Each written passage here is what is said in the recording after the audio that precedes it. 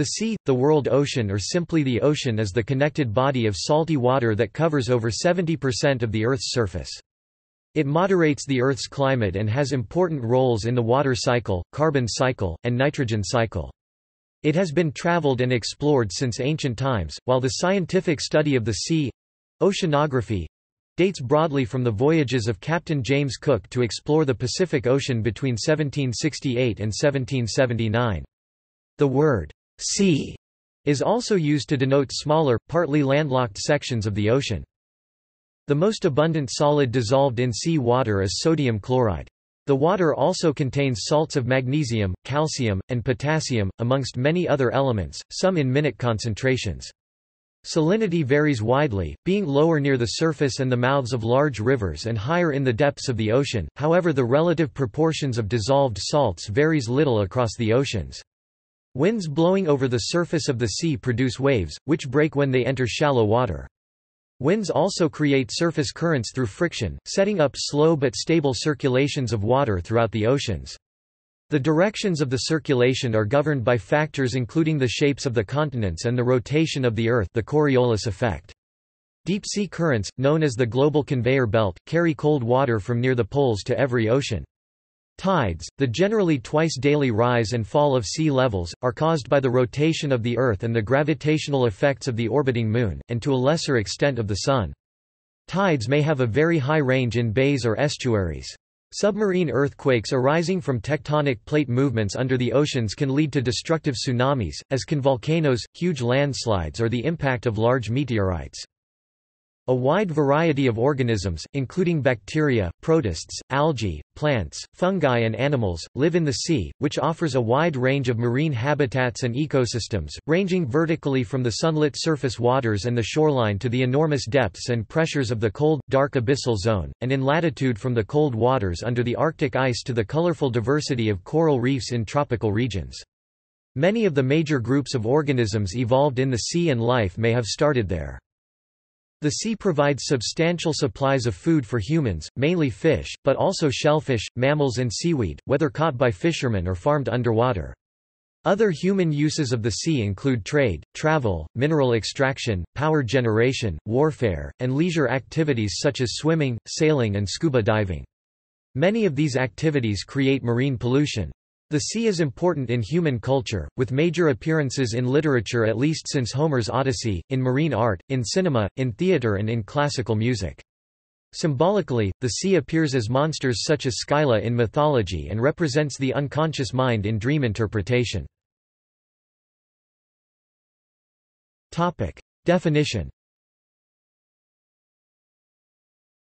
The sea is the interconnected system of all the Earth's oceanic waters, including the Atlantic, Pacific, Indian, Southern and Arctic Oceans.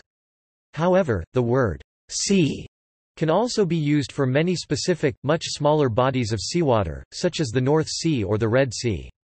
There is no sharp distinction between seas and oceans, though generally seas are smaller, and are often partly as marginal seas or wholly as inland seas bordered by land. However, the Sargasso Sea has no coastline and lies within a circular current, the North Atlantic Gyre. Seas are generally larger than lakes and contain salt water, but the Sea of Galilee is a freshwater lake. The United Nations Convention on the Law of the Sea states that all of the ocean is sea. Physical science Earth is the only known planet with seas of liquid water on its surface, although Mars possesses ice caps and similar planets in other solar systems may have oceans. It is still unclear where Earth's water came from, but, seen from space, our planet appears as a blue marble of its various forms, oceans, ice caps, clouds. Earth's 1,335,000,000 cubic kilometers, 320 million cu of sea contain about 97.2% of its known water and cover more than 70% of its surface. Another 2.15% of Earth's water is frozen, found in the sea ice covering the Arctic Ocean, the ice cap covering Antarctica and its adjacent seas, and various glaciers and surface deposits around the world. The remainder about 0.65% of the whole form underground reservoirs or various stages of the water cycle, containing the freshwater encountered and used by most terrestrial life, vapor in the air, the clouds it slowly forms, the rain falling from them, and the lakes and rivers spontaneously formed as its waters flow again and again to the sea. The sea's dominance of the planet is such that the British author Arthur C. Clarke once noted that, "...Earth," would have been better named, "...ocean." The scientific study of water and Earth's water cycle is hydrology. Hydrodynamics studies the physics of water in motion. The more recent study of the sea in particular is oceanography. This began as the study of the shape of the ocean's currents but has since expanded into a large and multidisciplinary field. It examines the properties of seawater, studies waves, tides, and currents, charts coastlines and maps the seabeds, and studies marine life. The subfield dealing with the sea's motion, its forces, and the forces acting upon it is known as physical oceanography. Marine biology biological oceanography studies the plants, animals, and other organisms inhabiting marine ecosystems. Both are informed by chemical oceanography, which studies the behavior of elements and molecules within the oceans, particularly, at the moment, the ocean's role in the carbon cycle and carbon dioxide's role in the increasing acidification of seawater. Marine and maritime geography charts the shape and shaping of the sea, while marine geology geological oceanography has provided evidence of continental drift and the composition and structure of the Earth, clarified the process of sedimentation, and assisted the study of volcanism and earthquakes. Seawater The water in the sea was thought to come from the Earth's volcanoes, starting 4 billion years ago, released by degassing from molten rock. More recent work suggests much of the Earth's water may come from comets. A characteristic of seawater is that it is salty. Salinity is usually measured in parts per thousand per mil or per mil, and the open ocean has about 35 grams 1.2 ounces solids per liter, a salinity of the Mediterranean Sea is slightly higher at, while the salinity in northern Red Sea could reach. The constituents of table salt, sodium and chloride, make up about 85% of the solids in solution. There are also other metal ions such as magnesium and calcium and negative ions including sulfate, carbonate, and bromide. Despite variations in the levels of salinity in different seas, the relative composition of the dissolved salts is stable throughout the world's oceans. Seawater is too saline for humans to drink safely, as the kidneys cannot excrete urine as salty as seawater. In contrast, some landlocked hypersaline lakes have a much higher salinity, for example the Dead Sea has 300 grams 11 ounces dissolved solids per liter. Although the amount of salt in the ocean remains relatively constant within the scale of millions of years, various factors affect the salinity of a body of water. Evaporation and byproduct of ice formation known as brine rejection increase salinity, whereas precipitation, sea ice melt, and runoff from land reduce it. The Baltic Sea, for example, has many rivers flowing into it, and thus the sea could be considered as brackish. Meanwhile, the Red Sea is very salty due to its high evaporation rate. Sea temperature depends on the amount of solar radiation falling on its surface. In the tropics, with the sun nearly overhead, the temperature of the surface layers can rise to over 30 degrees Celsius 86 degrees Fahrenheit while near the poles the temperature in equilibrium with the sea ice is about minus 2 degrees Celsius 28 degrees Fahrenheit. There is a continuous circulation of water in the oceans. Warm surface currents cool as they move away from the tropics, and the water becomes denser and sinks. The cold water moves back towards the equator as a deep-sea current, driven by changes in the temperature and density of the water, before eventually welling up again towards the surface. Deep seawater has a temperature between minus 2 degrees Celsius 28 degrees Fahrenheit and 5 degrees Celsius 41 degrees Fahrenheit in all parts of the globe. Seawater with a typical salinity of has a freezing point of about minus 1.8 degrees Celsius 28.8 degrees Fahrenheit. When its temperature becomes low enough, ice crystals form on the surface. These break into small pieces and coalesce into flat disks that form a thick suspension known as frazil. In calm conditions this freezes into a thin flat sheet known as nilas, which thickens as new ice forms on its underside. In more turbulent seas, frazil crystals join together into flat disks known as pancakes. These slide under each other and coalesce to form floes. In the process of freezing, salt water and air are trapped between the ice crystals. Nilas may have a salinity of 12.2, but by the time the sea ice is one year old, this falls to 4.2. The amount of oxygen found in seawater depends primarily on the plants growing in it. These are mainly algae, including phytoplankton, with some vascular plants such as seagrasses. In daylight the photosynthetic activity of these plants produces oxygen, which dissolves in the seawater and is used by marine animals. At night, photosynthesis stops, and the amount of dissolved oxygen declines. In the deep sea, where insufficient light penetrates for plants to grow, there is very little dissolved oxygen. In its absence, organic material is broken down by anaerobic bacteria producing hydrogen sulfide. Global warming is likely to reduce levels of oxygen in surface waters, since the solubility of oxygen in water falls at higher temperatures. The amount of light that penetrates the sea depends on the angle of the sun, the weather conditions and the turbidity of the water. Much light gets reflected at the surface, and red light gets absorbed in the top few meters. Yellow and green light reach greater depths, and blue and violet light may penetrate as deep as 1,000 meters 3,300 feet. There is insufficient light for photosynthesis and plant growth beyond a depth of about 200 meters 660 feet. Waves Wind blowing over the surface of a body of water forms waves that are perpendicular to the direction of the wind. The friction between air and water caused by a gentle breeze on a pond causes ripples to form. A strong blow over the ocean causes larger waves as the moving air pushes against the raised ridges of water. The waves reach their maximum height when the rate at which they are traveling nearly matches the speed of the wind. In open water, when the wind blows continuously as happens in the southern hemisphere in the roaring forties, long, organized masses of water called swell roll across the ocean. If the wind dies down, the wave formation is reduced, but already formed waves continue to travel in their original direction until they meet land. The size of the waves depends on the fetch, the distance that the wind has blown over the water and the strength and duration of that wind. When waves meet others coming from different directions, interference between the two can produce broken, irregular seas. Constructive interference can cause individual unexpected rogue waves much higher than normal. Most waves are less than 3 meters 10 feet high and it is not unusual for strong storms to double or triple that height. Offshore constructions such as wind farms and oil platforms use metocean statistics from measurements in computing the wave forces due to for instance the 100-year wave they are designed against.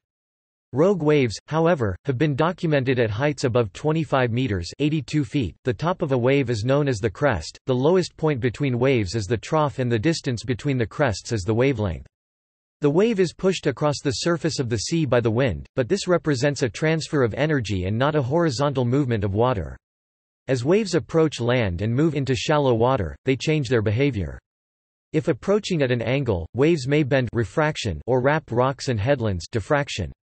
When the wave reaches a point where its deepest oscillations of the water contact the seabed, they begin to slow down. This pulls the crests closer together and increases the wave's height, which is called wave shoaling.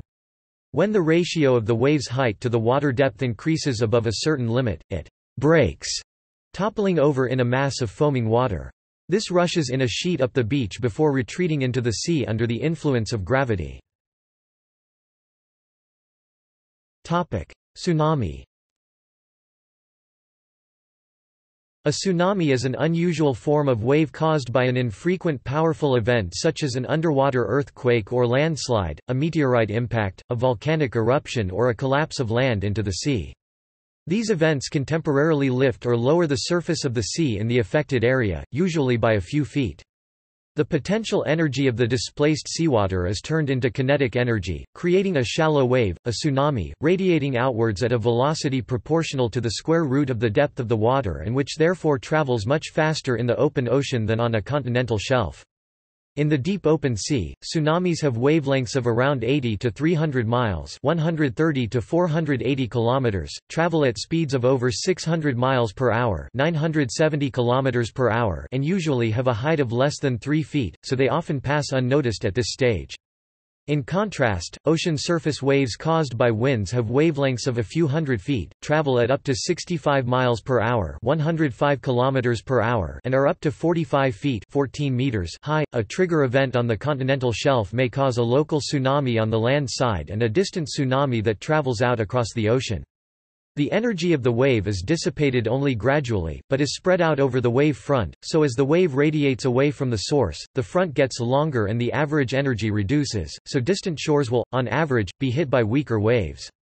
However, as the speed of the wave is controlled by the water depth, it does not travel at the same speed in all directions, and this affects the direction of the wave front, an effect known as refraction, which can focus the strength of the advancing tsunami on some areas and weaken it in others according to undersea topography. As a tsunami moves into shallower water its speed decreases, its wavelength shortens and its amplitude increases enormously, behaving in the same way as a wind-generated wave in shallow water, but on a vastly greater scale. Either the trough or the crest of a tsunami can arrive at the coast first.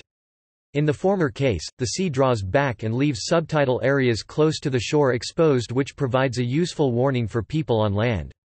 When the crest arrives, it does not usually break but rushes inland, flooding all in its path. Much of the destruction may be caused by the flood water draining back into the sea after the tsunami has struck, dragging debris and people with it. Often several tsunami are caused by a single geological event and arrive at intervals of between 8 minutes and 2 hours. The first wave to arrive on shore may not be the biggest or most destructive. Occasionally, a tsunami may transform into a bore, typically in a shallow bay or an estuary. Currents Wind blowing over the surface of the sea causes friction at the interface between air and sea. Not only does this cause waves to form but it also makes the surface seawater move in the same direction as the wind. Although winds are variable, in any one place they predominantly blow from a single direction and thus a surface current can be formed. Westerly winds are most frequent in the mid-latitudes while easterlies dominate the tropics. When water moves in this way, other water flows in to fill the gap and a circular movement of surface currents known as a gyre is formed. There are five main gyres in the world's oceans, two in the Pacific, two in the Atlantic and one in the Indian Ocean. Other smaller gyres are found in lesser seas and a single gyre flows around Antarctica. These gyres have followed the same routes for millennia, guided by the topography of the land, the wind direction and the Coriolis effect. The surface currents flow in a clockwise direction in the northern hemisphere and anti-clockwise in the southern hemisphere. The water moving away from the equator is warm, and that flowing in the reverse direction has lost most of its heat. These currents tend to moderate the Earth's climate, cooling the equatorial region and warming regions at higher latitudes. Global climate and weather forecasts are powerfully affected by the world ocean, so global climate modeling makes use of ocean circulation models as well as models of other major components such as the atmosphere, land surfaces, aerosols and sea ice. Ocean models make use of a branch of physics, geophysical fluid dynamics, that describes the large-scale flow of fluids such as seawater. Surface currents only affect the top few hundred meters yards of the sea, but there are also large-scale flows in the ocean depths caused by the movement of deep water masses. A main deep ocean current flows through all the world's oceans and is known as the thermohaline circulation or global conveyor belt. This movement is slow and is driven by differences in density of the water caused by variations in salinity and temperature. At high latitudes the water is chilled by the low atmospheric temperature and becomes saltier as sea ice crystallizes out. Both these factors make it denser, and the water sinks. From the deep sea near Greenland, such water flows southwards between the continental landmasses on either side of the Atlantic. When it reaches the Antarctic, it is joined by further masses of cold, sinking water and flows eastwards. It then splits into two streams that move northwards into the Indian and Pacific Oceans. Here it is gradually warmed, becomes less dense, rises towards the surface and loops back on itself. Some flows back into the Atlantic. It takes a thousand years for this circulation pattern to be completed. Besides gyres, there are temporary surface currents that occur under specific conditions. When waves meet a shore at an angle, a longshore current is created as water is pushed along parallel to the coastline. The water swirls up onto the beach at right angles to the approaching waves but drains away straight down the slope under the effect of gravity. The larger the breaking waves, the longer the beach and the more oblique the wave approach, the stronger is the longshore current. These currents can shift great volumes of sand or pebbles, create spits and make beaches disappear and water channels silt up. A rip current can occur when water piles up near the shore from advancing waves and is funneled out to sea through a channel in the seabed. It may occur at a gap in a sandbar or near a man-made structure such as a groin. These strong currents can have a velocity of 3 feet (0.9 meters) per second, can form at different places at different stages of the tide and can carry away unwary bathers. Temporary upwelling currents occur when the wind pushes water away from the land and deeper water rises to replace it. This cold water is often rich in nutrients and creates blooms of phytoplankton and a great increase in the productivity of the sea. Tides Tides are the regular rise and fall in water level experienced by seas and oceans in response to the gravitational influences of the Moon and the Sun, and the effects of the Earth's rotation. During each tidal cycle, at any given place the water rises to a maximum height known as high tide, before ebbing away again to the minimum low tide level. As the water recedes, it uncovers more and more of the foreshore, also known as the intertidal zone. The difference in height between the high tide and low tide is known as the tidal range or tidal amplitude. Most places experience two high tides each day, occurring at intervals of about 12 hours and 25 minutes. This is half the 24 hours and 50 minute period that it takes for the Earth to make a complete revolution and return the Moon to its previous position relative to an observer. The Moon's mass is some 27 million times smaller than the Sun, but it is 400 times closer to the Earth. Tidal force or tide-raising force decreases rapidly with distance, so the Moon has more than twice as great an effect on tides as the Sun. A bulge is formed in the ocean at the place where the Earth is closest to the Moon, because it is also where the effect of the Moon's gravity is stronger. On the opposite side of the Earth, the lunar force is at its weakest and this causes another bulge to form. As the Moon rotates around the Earth, so do these ocean bulges move around the Earth. The gravitational attraction of the Sun is also working on the seas, but its effect on tides is less powerful than that of the Moon, and when the Sun, Moon and Earth are all aligned full moon and new moon, the combined effect results in the high spring tides. In contrast, when the Sun is at 90 degrees from the Moon as viewed from Earth, the combined gravitational effect on tides is less causing the lower neap tides. Tidal flows of seawater are resisted by the water's inertia and can be affected by land masses.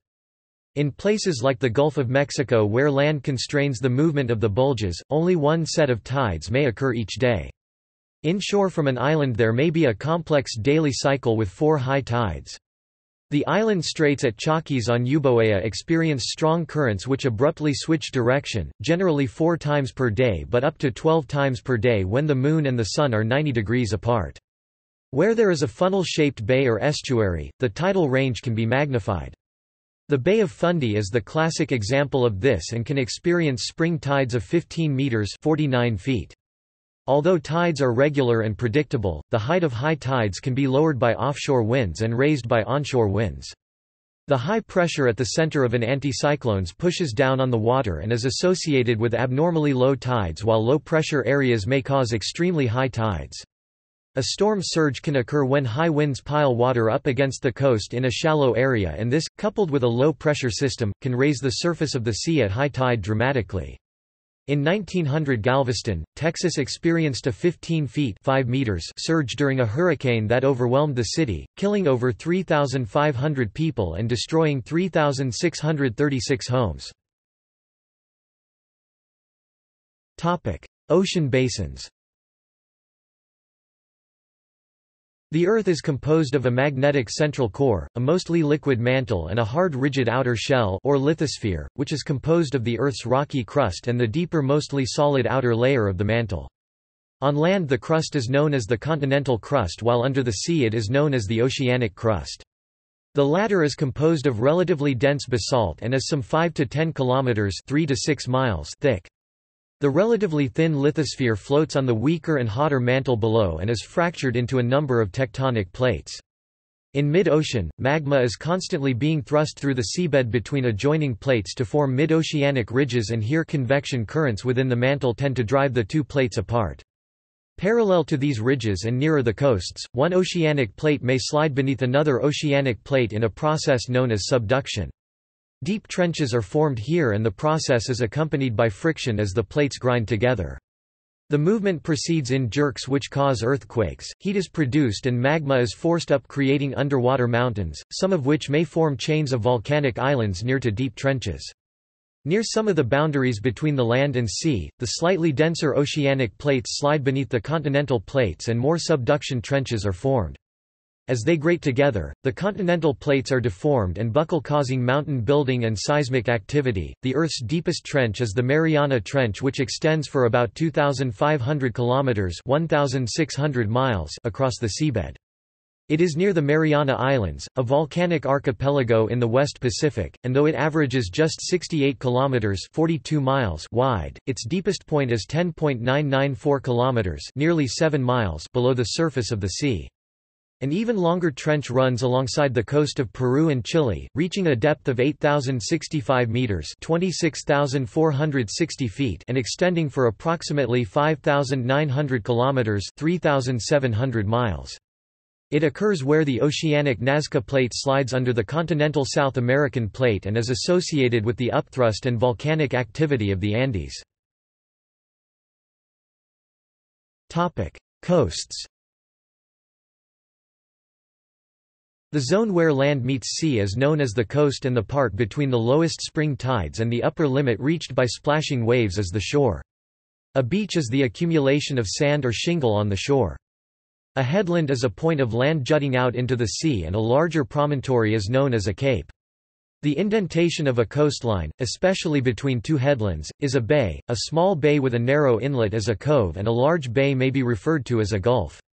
Coastlines are influenced by a number of factors including the strength of the waves arriving on the shore, the gradient of the land margin, the composition and hardness of the coastal rock, the inclination of the offshore slope and the changes of the level of the land due to local uplift or submergence.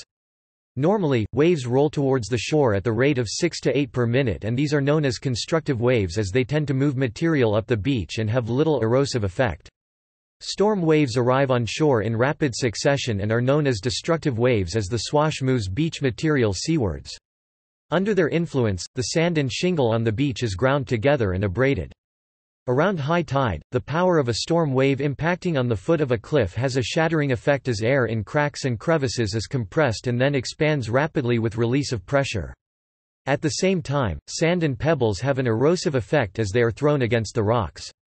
This tends to undercut the cliff, and normal weathering processes such as the action of frost follows, causing further destruction. Gradually, a wave-cut platform develops at the foot of the cliff and this has a protective effect, reducing further wave erosion. Material worn from the margins of the land eventually ends up in the sea.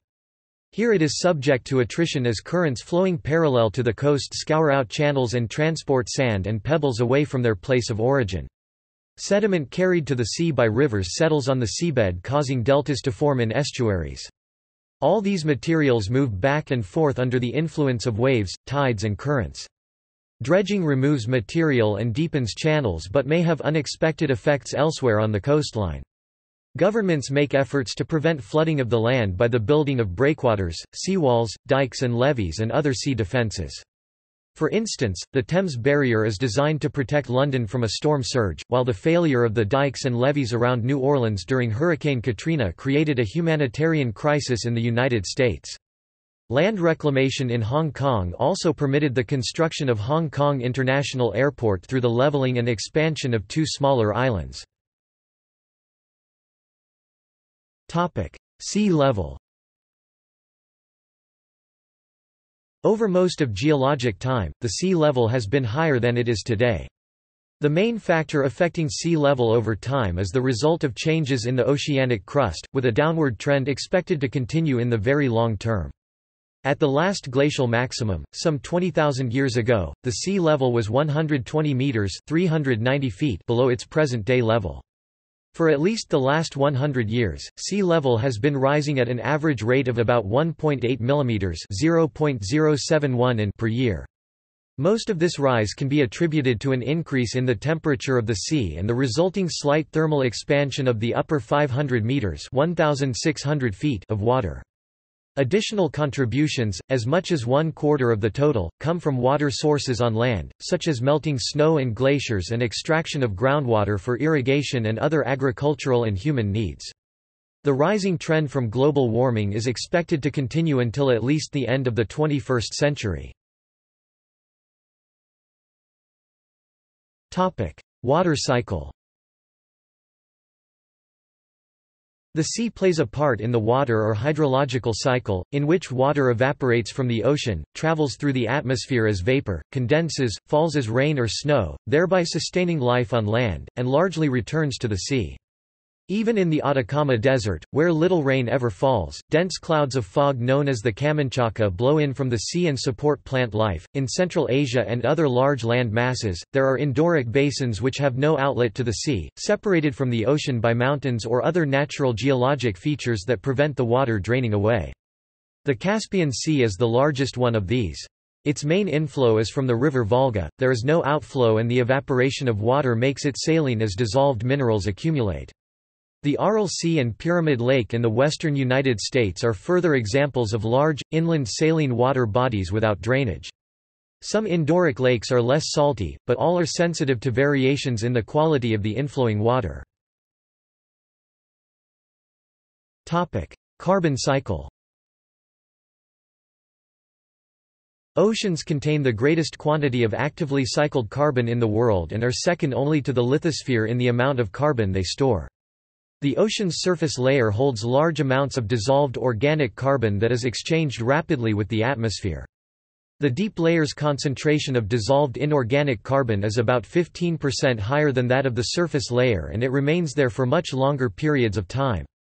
Thermohaline circulation exchanges carbon between these two layers. Carbon enters the ocean as atmospheric carbon dioxide dissolves in the surface layers and is converted into carbonic acid, carbonate, and bicarbonate, CO2 gas CO2 AQ CO2 AQ plus H2O H2CO3 H2CO3 HCO3 minus plus H plus HCO3 minus CO32 minus plus 2H plus IT can also enter through rivers as dissolved organic carbon and is converted by photosynthetic organisms into organic carbon.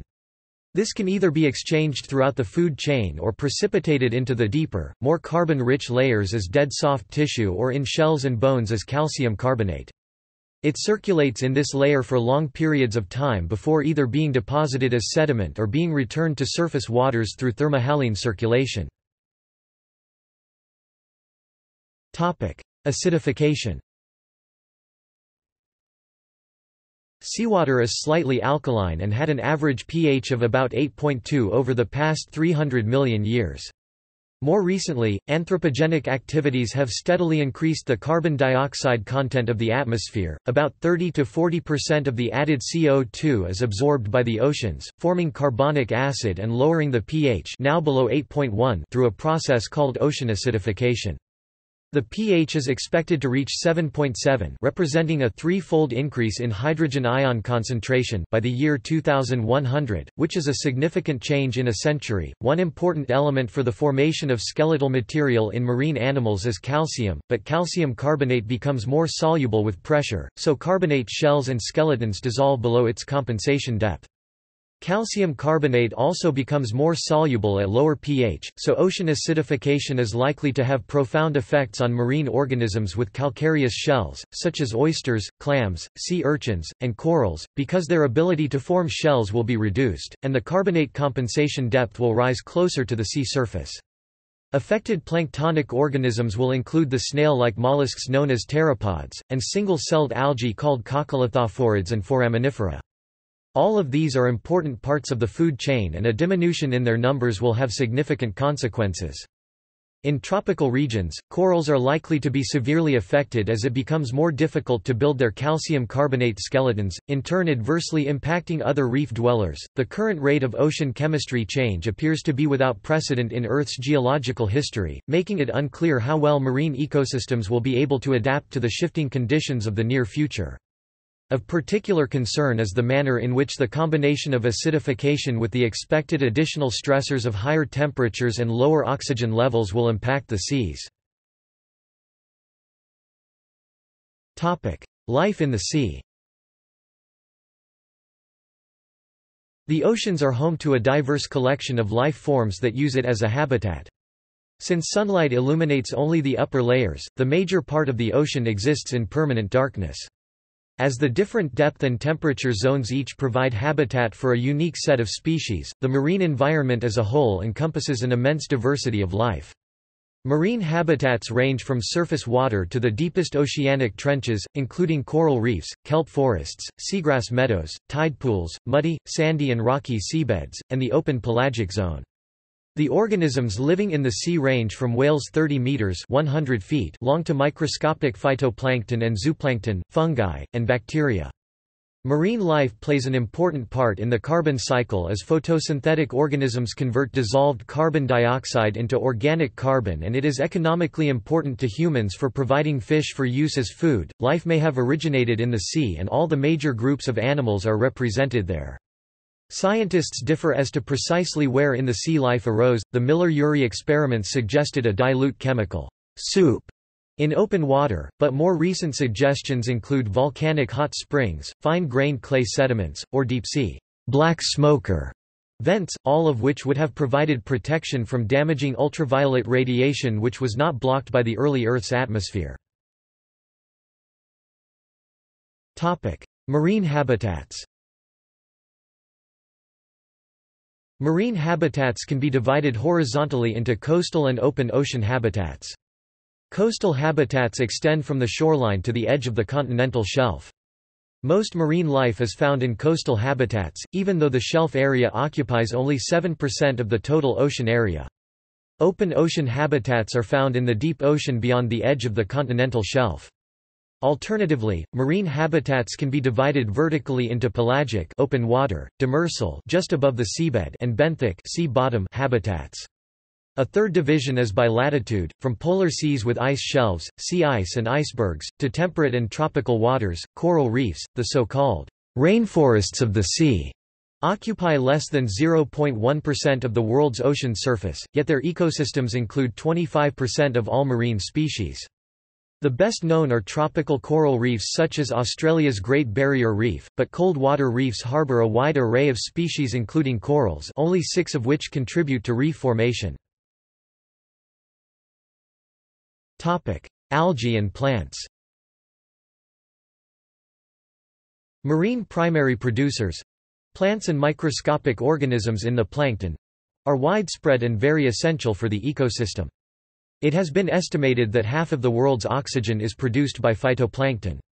About 45% of the sea's primary production of living material is contributed by diatoms.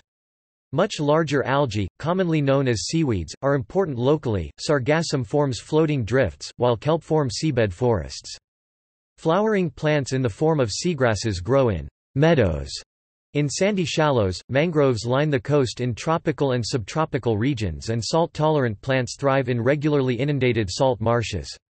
All of these habitats are able to sequester large quantities of carbon and support a biodiverse range of larger and smaller animal life. Light is only able to penetrate the top 200 meters (660 feet), so this is the only part of the sea where plants can grow. The surface layers are often deficient in biologically active nitrogen compounds. The marine nitrogen cycle consists of complex microbial transformations which include the fixation of nitrogen, its assimilation, nitrification, anammox and denitrification. Some of these processes take place in deep water so that where there is an upwelling of cold waters, and also near estuaries where land-sourced nutrients are present, plant growth is higher. This means that the most productive areas, rich in plankton and therefore also in fish, are mainly coastal.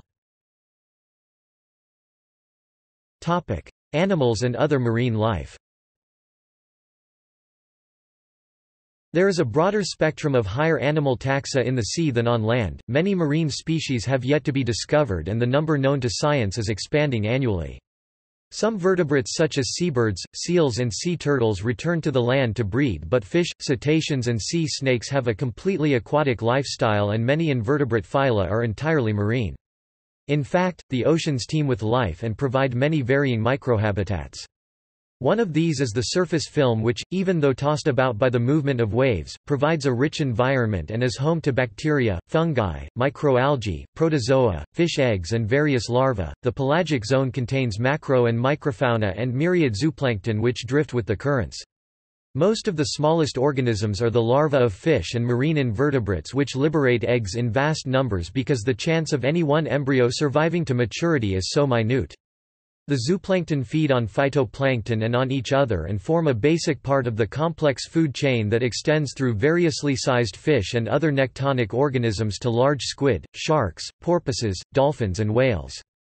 Some marine creatures make large migrations, either to other regions of the ocean on a seasonal basis or vertical migrations daily, often ascending to feed at night and descending to safety by day. Ships can introduce or spread invasive species through the discharge of ballast water or the transport of organisms that have accumulated as part of the fouling community on the hulls of vessels. The demersal zone supports many animals that feed on benthic organisms or seek protection from predators, and the seabed provides a range of habitats on or under the surface of the substrate which are used by creatures adapted to these conditions. The tidal zone with its periodic exposure to the dehydrating air is home to barnacles, mollusks and crustaceans.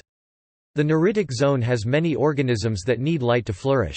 Here, among algal-encrusted rocks live sponges, echinoderms, polychaete worms, sea anemones and other invertebrates. Corals often contain photosynthetic symbionts and live in shallow waters where light penetrates. The extensive calcareous skeletons they extrude build up into coral reefs which are an important feature of the seabed. These provide a biodiverse habitat for reef-dwelling organisms.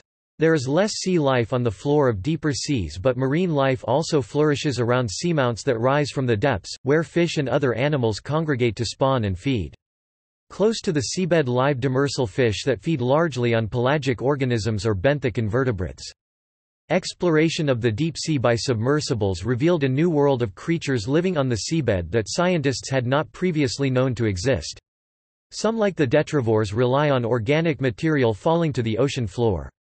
Others cluster round deep-sea hydrothermal vents where mineral-rich flows of water emerge from the seabed, supporting communities whose primary producers are sulfide-oxidizing chemoautotrophic bacteria, and whose consumers include specialized bivalves, sea anemones, barnacles, crabs, worms and fish, often found nowhere else. A dead whale sinking to the bottom of the ocean provides food for an assembly of organisms which similarly rely largely on the actions of sulfur-reducing bacteria. Such places support unique biomes where many new microbes and other lifeforms have been discovered. Humans and the sea History of navigation and exploration Humans have traveled the seas since they first built sea-going craft. Mesopotamians were using bitumen to caulk their reed boats and, a little later, masted sails. By c. 3000 BC, Austronesians on Taiwan had begun spreading into maritime Southeast Asia. Subsequently, the Austronesian Lapita peoples displayed great feats of navigation, reaching out from the Bismarck archipelago to as far away as Fiji, Tonga, and Samoa.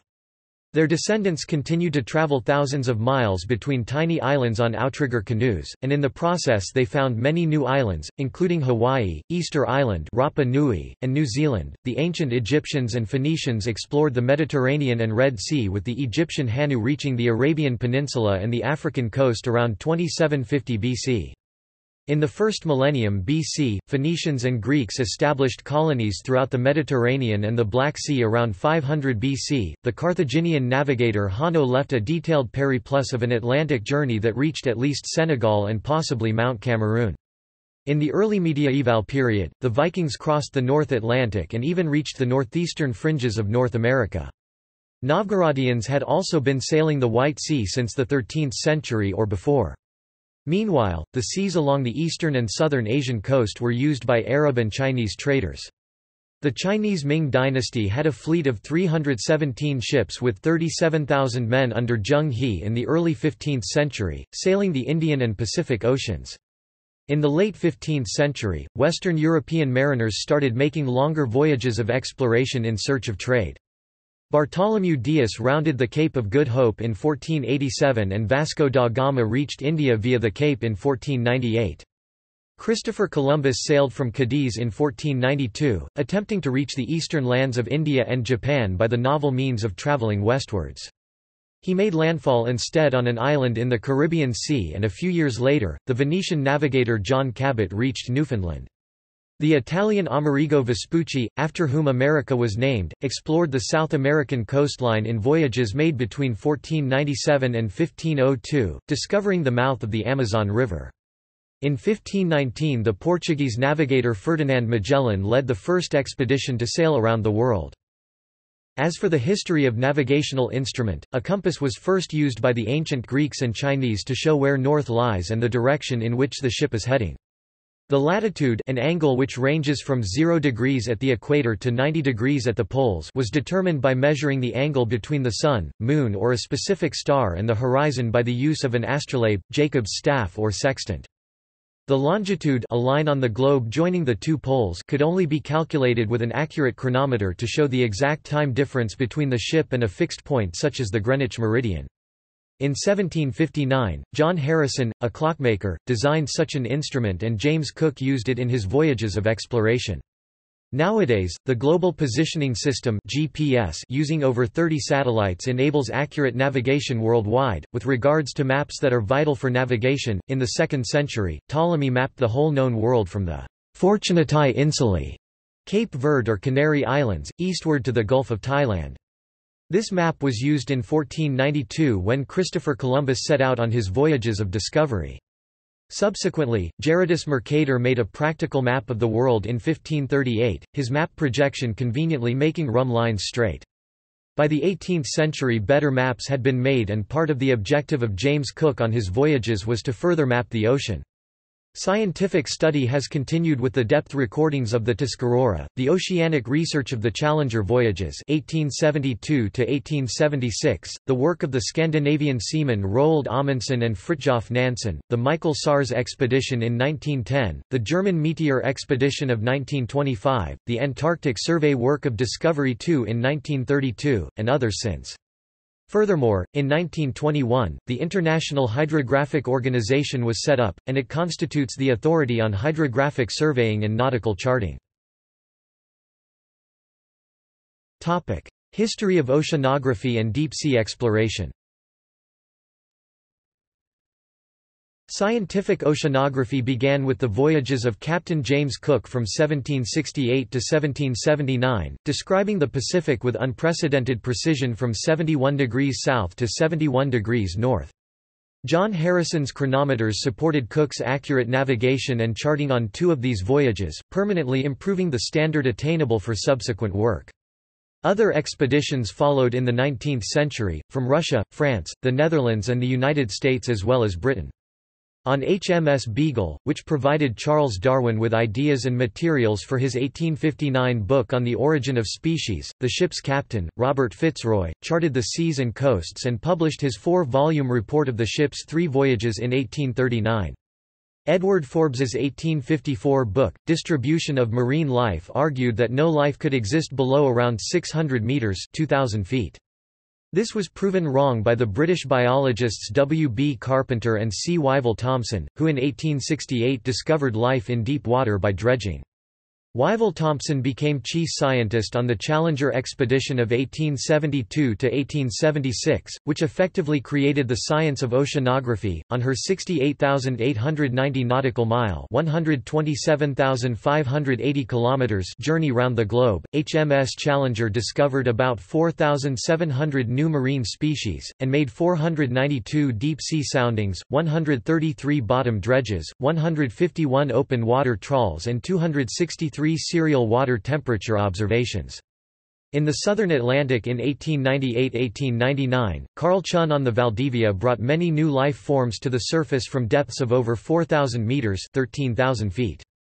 The first observations of deep-sea animals in their natural environment were made in 1930 by William Beebe and Otis Barton who descended to 434 meters (1,424 feet) in the spherical steel bathysphere. This was lowered by cable but by 1960 a self-powered submersible, Trieste developed by Jacques Piccard, took Piccard and Don Walsh to the deepest part of the Earth's oceans, the Mariana Trench in the Pacific, reaching a record depth of about 10,915 meters 35,810 feet, a feat not repeated until 2012 when James Cameron piloted the Deep Sea Challenger to similar depths. An atmospheric diving suit can be worn for deep-sea operations, with a new world record being set in 2006 when a U.S. Navy diver descended to 2,000 feet 610 meters in one of these articulated, pressurized suits. At great depths, no light penetrates through the water layers from above and the pressure is extreme. For deep-sea exploration it is necessary to use specialist vehicles, either remotely operated underwater vehicles with lights and cameras or manned submersibles. The battery-operated Mir submersibles have a three-man crew and can descend to 20,000 feet 6,000 meters. They have viewing ports, 5,000 watt lights, video equipment and manipulator arms for collecting samples, placing probes or pushing the vehicle across the seabed when the thrusters would stir up excessive sediment. Bathymetry is the mapping and study of the topography of the ocean floor. Methods used for measuring the depth of the sea include single or multibeam echosounders, laser airborne depth sounders and the calculation of depths from satellite remote sensing data. This information is used for determining the routes of undersea cables and pipelines, for choosing suitable locations for siting oil rigs and offshore wind turbines, and for identifying possible new fisheries. Ongoing oceanographic research includes marine life forms, conservation, the marine environment, the chemistry of the ocean, the studying and modeling of climate dynamics, the air sea boundary, weather patterns, ocean resources, renewable energy, waves and currents, and the design and development of new tools and technologies for investigating the deep. Whereas in the 1960s and 1970s research could focus on taxonomy and basic biology, in the 2010s attention has shifted to larger topics such as climate change. Researchers make use of satellite-based remote sensing for surface waters, with research ships, moored observatories and autonomous underwater vehicles to study and monitor all parts of the sea. Law Freedom of the seas is a principle in international law dating from the 17th century. It stresses freedom to navigate the oceans and disapproves of war fought in international waters. Today, this concept is enshrined in the United Nations Convention on the Law of the Sea UNCLOS, the third version of which came into force in 1994. Article 87 states, "...the high seas are open to all states, whether coastal or land-locked." Article 87 f gives a non-exhaustive list of freedoms including navigation, overflight, the laying of submarine cables, building artificial islands, fishing and scientific research. The safety of shipping is regulated by the International Maritime Organization. Its objectives include developing and maintaining a regulatory framework for shipping, maritime safety, environmental concerns, legal matters, technical cooperation, and maritime security. UNCLOS defines various areas of water. Internal waters are on the landward side of a baseline, and foreign vessels have no right of passage in these territorial waters extend to 12 nautical miles 22 kilometers 14 miles from the coastline and in these waters the coastal state is free to set laws regulate use and exploit any resource. A contiguous zone. Extending a further 12 nautical miles allows for hot pursuit of vessels suspected of infringing laws in four specific areas customs taxation immigration and pollution. An exclusive economic zone Extends for 200 nautical miles 370 kilometers, 230 miles from the baseline. Within this area, the coastal nation has sole exploitation rights over all natural resources. The continental shelf is the natural prolongation of the land territory to the continental margin's outer edge, or 200 nautical miles from the coastal state's baseline, whichever is greater. Here the coastal nation has the exclusive right to harvest minerals and also living resources attached to the seabed. War Control of the sea is important to the security of a maritime nation, and the naval blockade of a port can be used to cut off food and supplies in time of war. Battles have been fought on the sea for more than 3,000 years. In about 1210 BC, Suppiluliuma II, the king of the Hittites, defeated and burned a fleet from Alashiya modern Cyprus. In the decisive 480 BC Battle of Salamis, the Greek general Themistocles trapped the far larger fleet of the Persian king Xerxes in a narrow channel and attacked vigorously, destroying 200 Persian ships for the loss of 40 Greek vessels. At the end of the Age of Sail, the English navy, led by Horatio Nelson, broke the power of the combined French and Spanish fleets at the 1805 Battle of Trafalgar. With steam and the industrial production of steel plate came greatly increased firepower in the shape of the dreadnought battleships armed with long-range guns. In 1905, the Japanese fleet decisively defeated the Russian fleet, which had traveled over 18,000 nautical miles (33,000 kilometers) at the Battle of Tsushima. Dreadnoughts fought inconclusively in the First World War at the 1916 Battle of Jutland between the Royal Navy's Grand Fleet and the Imperial German Navy's High Seas Fleet. In the Second World War, the British victory at the 1940 Battle of Taranto showed that naval air power was sufficient to overcome the largest warships, foreshadowing the decisive sea battles of the Pacific War including the battles of the Coral Sea, Midway, the Philippine Sea, and the climactic Battle of Leyte Gulf, in all of which the dominant ships were aircraft carriers. Submarines became important in naval warfare in World War I, when German submarines, known as U-boats, sank nearly 5,000 Allied merchant ships, including however the the RMS Lusitania, so helping to bring the United States into the war. In World War II, almost 3,000 Allied ships were sunk by U-boats attempting to block the flow of supplies to Britain, but the Allies broke the blockade in the Battle of the Atlantic, which lasted the whole length of the war, sinking 783 U-boats. Since 1960, several nations have maintained fleets of nuclear-powered ballistic missile submarines, vessels equipped to launch ballistic missiles with nuclear warheads from under the sea. Some of these are kept permanently on patrol. Topic: Travel Sailing ships or packets carried mail overseas, one of the earliest being the Dutch service to Batavia in the 1670s. These added passenger accommodation, but in cramped conditions. Later, scheduled services were offered but the time journeys took depended much on the weather. When steamships replaced sailing vessels, ocean-going liners took over the task of carrying people. By the beginning of the 20th century, crossing the Atlantic took about five days and shipping companies competed to own the largest and fastest vessels. The Blue Riband was an unofficial accolade given to the fastest liner crossing the Atlantic in regular service. The Mauretania held the title with 26.06 knots (48.26 km per hour) for 20 years from 1909. The Hales Trophy, another award for the fastest commercial crossing of the Atlantic, was won by the United States in 1952 for a crossing that took three days, 10 hours and 40 minutes. The great liners were comfortable but expensive in fuel and staff. The age of the transatlantic liners waned as cheap intercontinental flights became available. In 1958, a regular scheduled air service between New York and Paris taking seven hours doomed the Atlantic ferry service to oblivion. One by one the vessels were laid up, some were scrapped, others became cruise ships for the leisure industry and still others floating hotels. The sea is still a route by which boat people travel in small, sometimes unseaworthy craft, often having paid money to people smugglers for their passage. Some may be fleeing persecution but most are economic migrants attempting to reach countries where they believe their prospects are brighter. Trade Maritime trade has existed for millennia. The Ptolemaic dynasty had developed trade with India using the Red Sea ports and in the first millennium BC the Arabs, Phoenicians, Israelites and Indians traded in luxury goods such as spices, gold, and precious stones.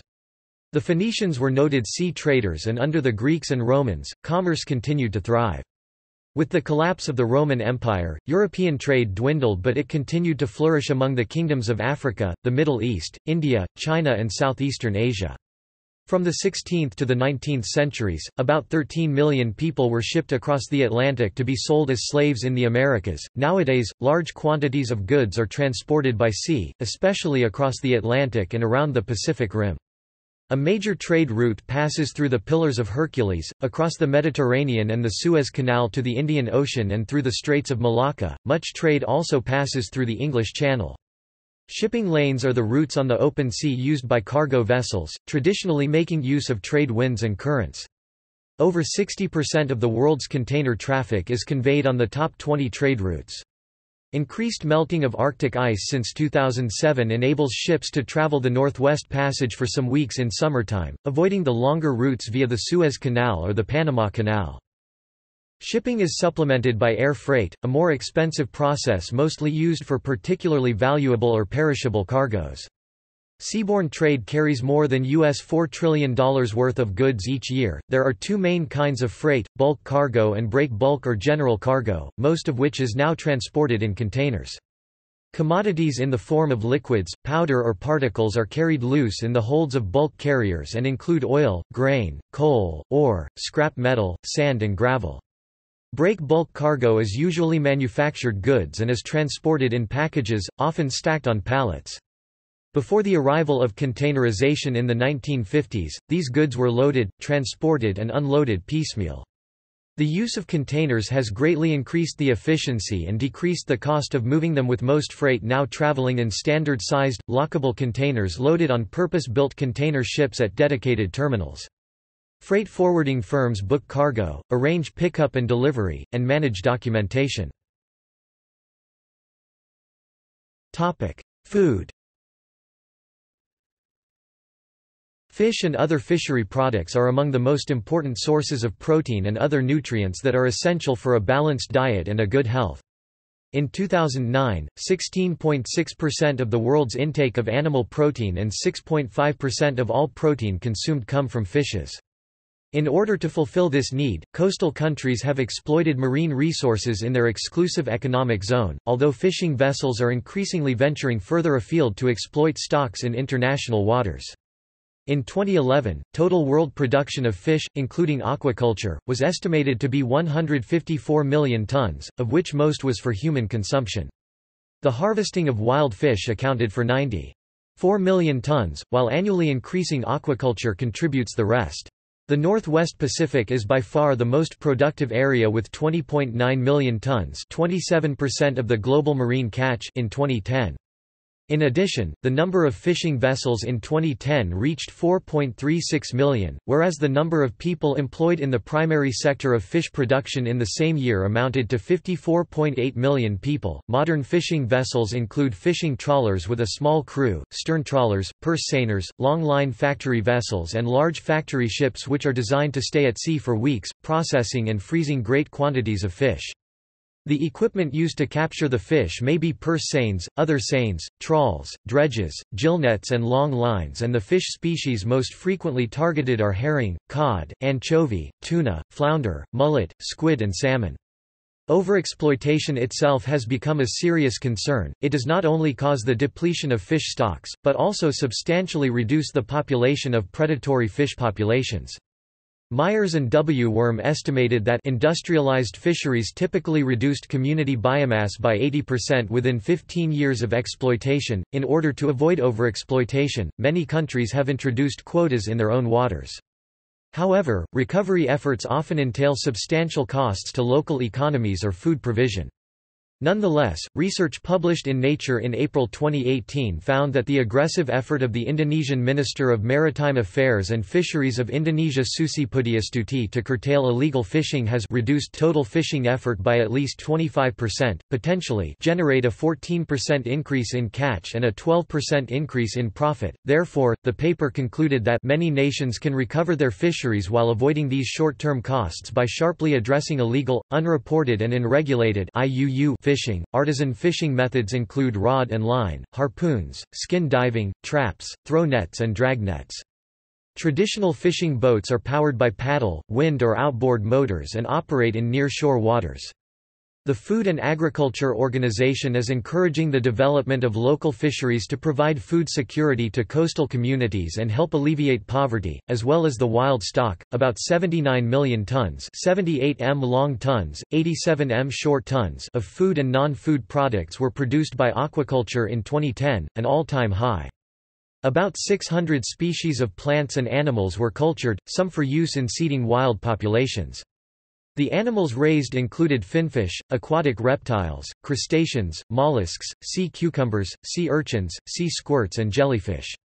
Integrated mariculture has the advantage that there is a readily available supply of planktonic food and waste is removed naturally. Various methods are employed. Mesh enclosures for finfish can be suspended in the open seas, cages can be used in more sheltered waters or ponds can be refreshed with water at each high tide. Shrimps can be reared in shallow ponds connected to the open sea. Ropes can be hung in water to grow algae, oysters and mussels. Oysters can be reared on trays or in mesh tubes. Sea cucumbers can be ranched on the seabed. Captive breeding programs have raised lobster larvae for release of juveniles into the wild resulting in an increased lobster harvest in Maine. At least 145 species of seaweed, red, green, and brown algae, are eaten worldwide, and some have long been farmed in Japan and other Asian countries. There is great potential for additional algaculture. Few maritime flowering plants are widely used for food, but one example is marsh samphire, which is eaten both raw and cooked. A major difficulty for aquaculture is the tendency towards monoculture and the associated risk of widespread disease. In the 1990s, disease wiped out China's farmed Farrer's scallop and white shrimp and required their replacement by other species. Aquaculture is also associated with environmental risks, for instance, shrimp farming has caused the destruction of important mangrove forests throughout Southeast Asia. Leisure Use of the sea for leisure developed in the 19th century, and became a significant industry in the 20th century. Maritime leisure activities are varied, and include self-organized trips cruising, yachting, powerboat racing and fishing, commercially organized voyages on cruise ships, and trips on smaller vessels for ecotourism such as whale watching and coastal birdwatching.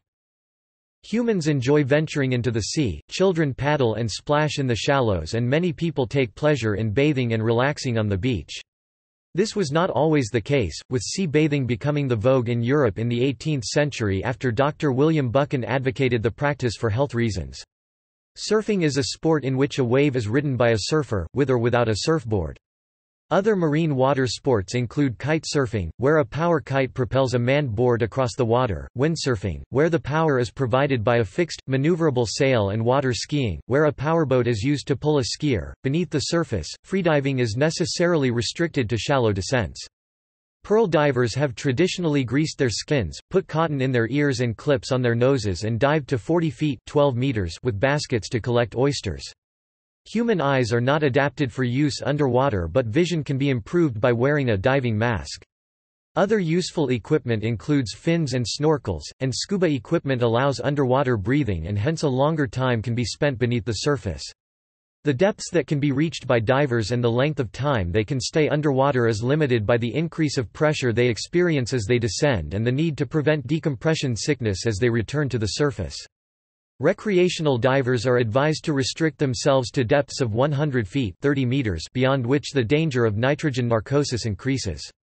Deeper dives can be made with specialized equipment and training. Power generation The sea offers a very large supply of energy carried by ocean waves, tides, salinity differences, and ocean temperature differences which can be harnessed to generate electricity. Forms of green marine energy include tidal power, marine current power, osmotic power, ocean thermal energy and wave power.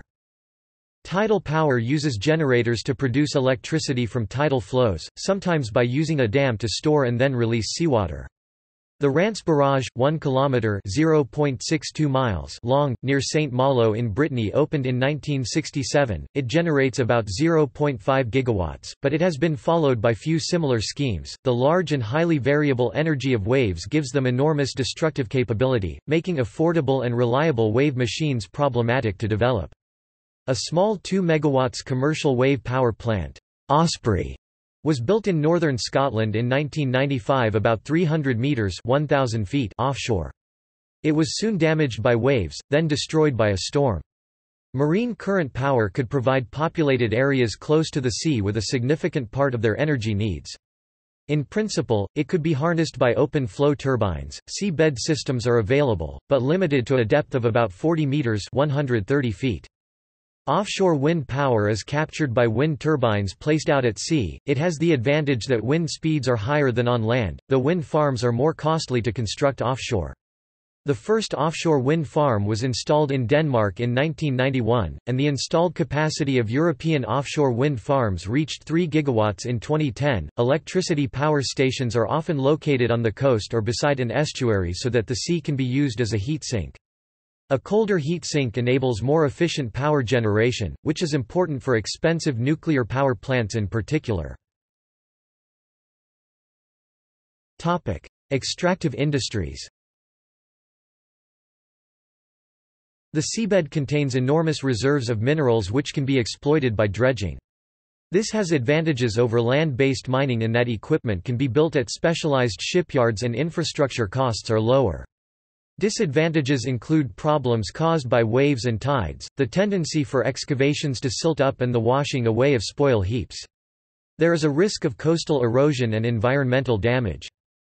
Seafloor massive sulfide deposits are potential sources of silver, gold, copper, lead and zinc and trace metals since their discovery in the 1960s. They form when geothermally heated water is emitted from deep-sea hydrothermal vents known as black smokers. The ores are of high quality but prohibitively costly to extract. Small-scale mining of the deep-sea floor is being developed off the coast of Papua New Guinea using robotic techniques, but the obstacles are formidable. There are large deposits of petroleum, as oil and natural gas, in rocks beneath the seabed. Offshore platforms and drilling rigs extract the oil or gas and store it for transport to land. Offshore oil and gas production can be difficult due to the remote, harsh environment. Drilling for oil in the sea has environmental impacts. Animals may be disorientated by seismic waves used to locate deposits, probably causing the beaching of whales. Toxic substances such as mercury, lead and arsenic may be released. The infrastructure may cause damage, and oil may be spilt. Large quantities of methane clathrate exist on the seabed and in ocean sediment at a temperature of around 2 degrees Celsius (36 degrees Fahrenheit), and these are of interest as a potential energy source. Some estimates put the amount available at between 1 and 5 million cubic kilometers, 0.24 to 1.2 million cubic miles. Also on the seabed are manganese nodules formed of layers of iron, manganese and other hydroxides around a core. In the Pacific these may cover up to 30% of the deep ocean floor. The minerals precipitate from seawater and grow very slowly. Their commercial extraction for nickel was investigated in the 1970s but abandoned in favor of more convenient sources. In suitable locations, diamonds are gathered from the seafloor using suction hoses to bring gravel ashore. In deeper waters, mobile seafloor crawlers are used and the deposits are pumped to a vessel above. In Namibia, more diamonds are now collected from marine sources than by conventional methods on land. The sea holds enormous quantities of valuable dissolved minerals. The most important, salt for table and industrial use has been harvested by solar evaporation from shallow ponds since prehistoric times. Bromine, accumulated after being leached from the land, is economically recovered from the Dead Sea, where it occurs at 55,000 parts per million ppm. Desalination is the technique of removing salts from seawater to leave fresh water suitable for drinking or irrigation. The two main processing methods, vacuum distillation and reverse osmosis, use large quantities of energy. Desalination is normally only undertaken where fresh water from other sources is in short supply or energy is plentiful, as in the excess heat generated by power stations. The brine produced as a byproduct contains some toxic materials and is returned to the sea. Marine pollution Many substances enter the sea as a result of human activities. Combustion products are transported in the air and deposited into the sea by precipitation. Industrial outflows and sewage contribute heavy metals, pesticides, PCBs, disinfectants, household cleaning products and other synthetic chemicals. These become concentrated in the surface film and in marine sediment, especially estuarine mud. The result of all this contamination is largely unknown because of the large number of substances involved and the lack of information on their biological effects. The heavy metals of greatest concern are copper, lead, mercury, cadmium and zinc which may be bioaccumulated by marine invertebrates. They are cumulative toxins and are passed up the food chain. Much floating plastic rubbish does not biodegrade, instead disintegrating over time and eventually breaking down to the molecular level. Rigid plastics may float for years. In the center of the Pacific Gyre there is a permanent floating accumulation of mostly plastic waste and there is a similar garbage patch in the Atlantic. Foraging seabirds such as the albatross and petrel may mistake debris for food, and accumulate indigestible plastic in their digestive systems. Turtles and whales have been found with plastic bags and fishing line in their stomachs. Microplastics may sink, threatening filter feeders on the seabed. Most oil pollution in the sea comes from cities and industry. Oil is dangerous for marine animals. It can clog the feathers of sea birds, reducing their insulating effect and the bird's buoyancy, and be ingested when they preen themselves in an attempt to remove the contaminant. Marine mammals are less seriously affected but may be chilled through the removal of their insulation, blinded, dehydrated or poisoned. Benthic invertebrates are swamped when the oil sinks, fish are poisoned and the food chain is disrupted. In the short term, oil spills result in wildlife populations being decreased and unbalanced, leisure activities being affected and the livelihoods of people dependent on the sea being devastated. The marine environment has self-cleansing properties and naturally occurring bacteria will act over time to remove oil from the sea. In the Gulf of Mexico, where oil-eating bacteria are already present, they take only a few days to consume spilt oil. Runoff of fertilizers from agricultural land is a major source of pollution in some areas and the discharge of raw sewage has a similar effect. The extra nutrients provided by these sources can cause excessive plant growth. Nitrogen is often the limiting factor in marine systems, and with added nitrogen, algal blooms and red tides can lower the oxygen level of the water and kill marine animals. Such events have created dead zones in the Baltic Sea and the Gulf of Mexico. Some algal blooms are caused by cyanobacteria that make shellfish that filter feed on them toxic, harming animals like sea otters. Nuclear facilities too can pollute. The Irish Sea was contaminated by radioactive cesium-137 from the former Sellafield nuclear fuel processing plant and nuclear accidents may also cause radioactive material to seep into the sea, as did the disaster at the Fukushima Daiichi nuclear power plant in 2011. The dumping of waste including oil, noxious liquids, sewage and garbage at sea is governed by international law. The London Convention 1972 is a United Nations agreement to control ocean dumping which had been ratified by 89 countries by 8 June 2012. Marpol 7378 is a convention to minimize pollution of the seas by ships.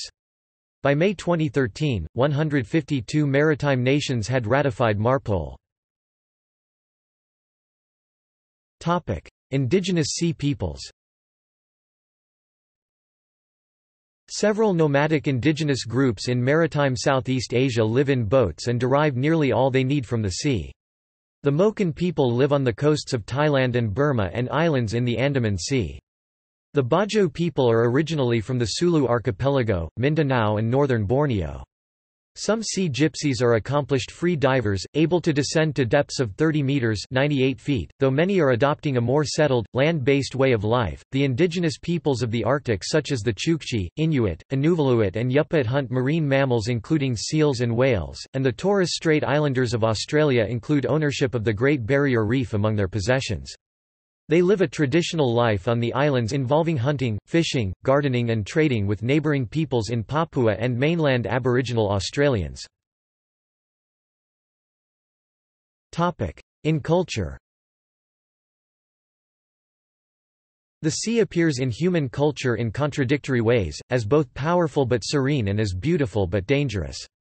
It has its place in literature, art, poetry, film, theater, classical music, mythology and dream interpretation. The ancients personified it, believing it to be under the control of a being who needed to be appeased, and symbolically, it has been perceived as a hostile environment populated by fantastic creatures, the Leviathan of the Bible, Skylla in Greek mythology, Isonade in Japanese mythology, and the Kraken of late Norse mythology. Civilizations have advanced through maritime trade and the exchange of ideas. The sea and ships have been depicted in art ranging from simple drawings on the walls of huts in Lamu to seascapes by Joseph Turner. In Dutch Golden Age painting, artists such as Jan Porcellis, Hendrick Dubbels, Willem van de Velde the Elder and his son, and Ludolf Bakhuizen celebrated the sea and the Dutch navy at the peak of its military prowess. The Japanese artist Katsushika Hokusai created color prints of the moods of the sea, including the Great Wave off Kanagawa. Music too has been inspired by the ocean, sometimes by composers who lived or worked near the shore and saw its many different aspects. Sea shanties, songs that were chanted by mariners to help them perform arduous tasks, have been woven into compositions and impressions in music have been created of calm waters, crashing waves and storms at sea. Classical sea-related music includes Richard Wagner's The Flying Dutchman, Claude Debussy's La Mer (1903–205), Charles Villiers Stanford's Songs of the Sea (1904) and Songs of the Fleet (1910), Edward Elgar's Sea Pictures (1899) and Ralph Vaughan Williams' A Sea Symphony (1903–1909). As a symbol, the sea has for centuries played a role in literature, poetry, and dreams. Sometimes it is there just as a gentle background but often it introduces such themes as storm, shipwreck, battle, hardship, disaster, the dashing of hopes and death. In his epic poem The Odyssey, written in the 8th century BC, Homer describes the ten-year voyage of the Greek hero Odysseus who struggles to return home across the sea's many hazards after the war described in the Iliad. The sea is a recurring theme in the haiku poems of the Japanese Edo period poet Matsuo Basho Songwei Ba Jiao 1644–1694. In modern literature, sea-inspired novels have been written by Joseph Conrad—drawn from his experience at sea, Herman Wouk, and Herman Melville. In the works of psychiatrist Carl Jung, the sea symbolizes the personal and the collective unconscious in dream interpretation, the depths of the sea symbolizing the depths of the unconscious mind. Although the origin of life on Earth is still a matter of debate, scientist and writer Rachel Carson, in her award-winning 1951 book The Sea Around Us, wrote, "...it is a curious situation that the sea, from which life first arose, should now be threatened by the activities of one form of that life. But the sea, though changed in a sinister way, will continue to exist, the threat is rather to life itself."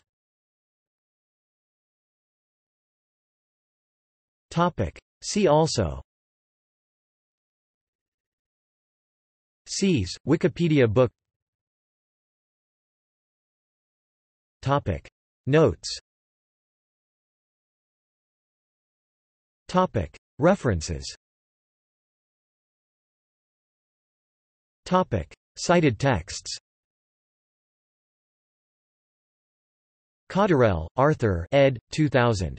World Mythology. Paragon. ISBN 978-0-7525-3037-6, CS1 maint, extra text, authors list link. Kindersley, Dorling 2011. Illustrated Encyclopedia of the Ocean. Dorling Kindersley. ISBN 978-1-4053-3308-5. Stow, Dorrik 2004. Encyclopedia of the Oceans. Oxford University Press. ISBN 0-19-860687-7. External links. Oceans at Curlie. National Oceanic and Atmospheric Administration